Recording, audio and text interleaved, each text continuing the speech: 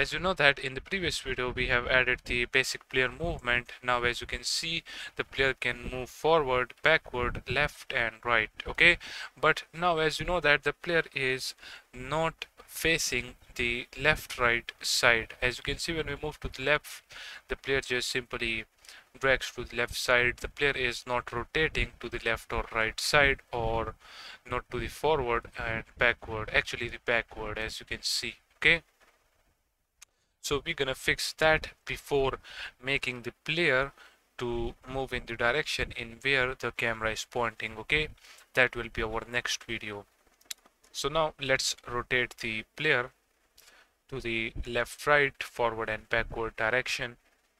For that right here in the script we will create a float by the name of movement amount okay and this movement amount will be equals to mathf.abs absolute you can say. And right here we will pass the horizontal inputs. Then we will do the same for the vertical as well.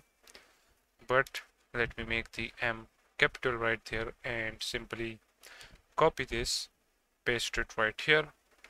Then change this to vertical okay then right here as you know that we are moving the player in the movement direction. Now right here we will also now rotate the player in the direction according to the inputs. Okay so first of all we will create a if condition.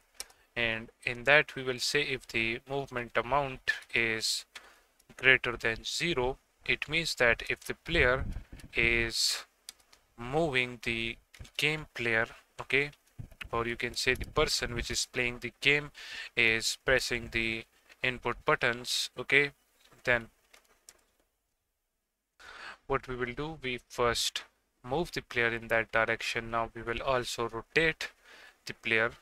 So after this right down below we will say transform dot rotation okay? And this will be equals to quaternion dot look rotation and we will pass the movement input okay? So now if the player presses the left movement key then the game player will look to the left and if the person which is playing the game presses the right button then the player will look to the right side and the same for the forward and backward okay?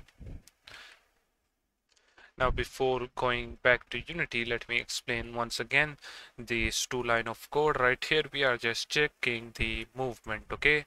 If the person which is playing the game is pressing any keys or not okay? So if the player is pressing any keys then right here what we did is according to that inputs we are moving and rotating the player okay simple as that.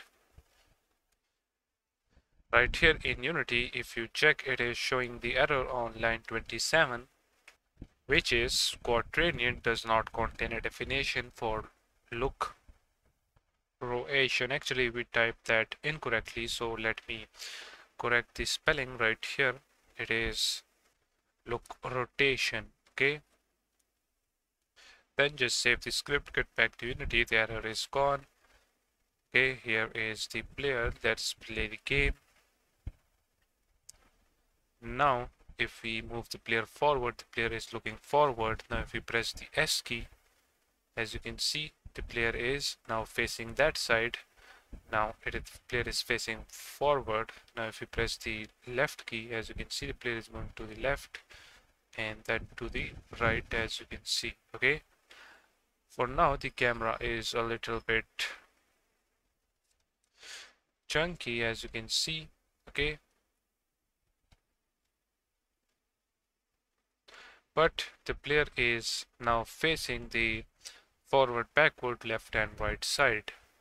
Now in the next video what we will do is we will rotate the player according to the camera pointing position okay and let me check this thing okay so right here inside the body if we change this to minus 4 for example and then let's just play the game. Okay so there is the player. Now as you can see the camera is still doing this thing but we will fix that in the upcoming videos so don't worry about that. Now just simply change this to minus 2 and that's it for this video